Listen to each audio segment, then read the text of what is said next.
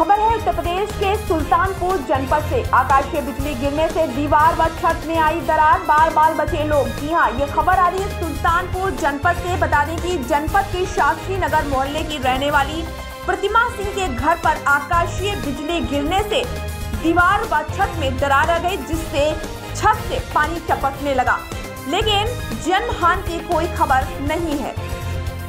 एक बार फिर से आपको बता दें, ये बड़ी खबर सुल्तानपुर जनपद से आ रही है, जहाँ एक घर पर आकाशीय बिजली गिरने से घर की दीवार व छत में दरारें आ गई, जिससे छत से पानी चपकने लगा।